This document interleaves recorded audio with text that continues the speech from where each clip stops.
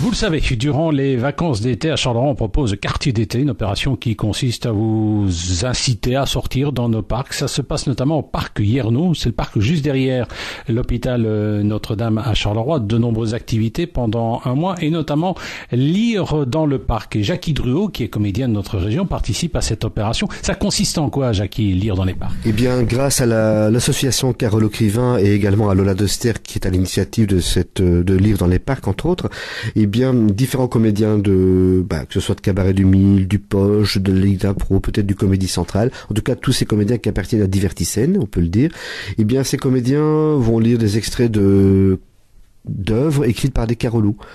Donc ce sera l'occasion de découvrir différents extraits de romans ou de nouvelles ou de poèmes écrits par des Carolo et lus en direct pendant une vingtaine de minutes, mais pas de manière rébarbative, hein, rassurez-vous tout de suite.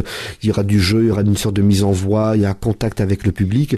Donc quelque part, c'est la littérature qui va à la découverte des Carolo. Ça, c'est une des activités proposées. Il y a également la Maison du Comte de Charleroi qui sera présente tous les mercredis entre le 16 juillet et le 6 août, si je ne m'abuse.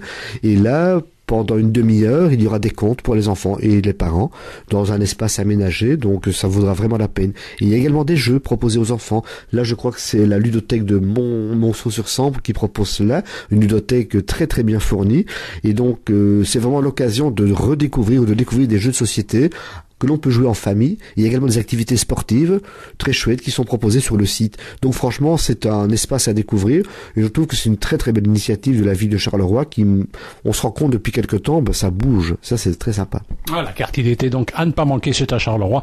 Euh, il y a d'ailleurs un site internet qui est dédié à cette opération. Vous allez taper quartier d'été Charleroi et vous aurez toutes les informations dont vous avez besoin.